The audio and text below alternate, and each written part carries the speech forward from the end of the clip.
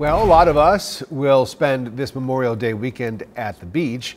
In California, swimmers will have lots of company in the water. Uh, they certainly will. New drone images show Los Angeles uh, has an increasing number of great white sharks swimming among people. CBS 46's Karen Greer explains why experts aren't too concerned about it. Watch as this huge shark swims right up to these unsuspecting children and then swims away. The population of great whites off the Southern California beaches is exploding.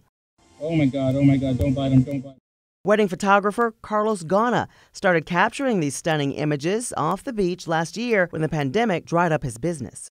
Almost every time I see an interaction with a human and a shark, my heart does pound. We've all been conditioned ever since Jaws came out to fear that interaction. But this is far from Jaws. Here's another large shark calmly cruising the surf, this one approaching a family. A swimmer is headed right towards another one. All of the sharks seem uninterested. Despite the fact that people are out there thrashing around and their arms are hanging off boards and legs are hanging off boards, sharks just ignore it. Chris Lowe is director of the Shark Lab at Cal State Long Beach.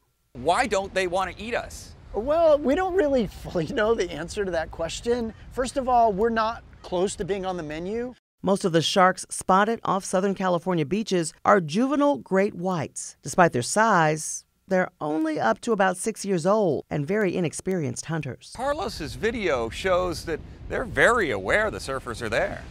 Yeah, in fact, we've been able to document sharks recognizing that somebody's nearby so they know the sounds of a person swimming and surfing.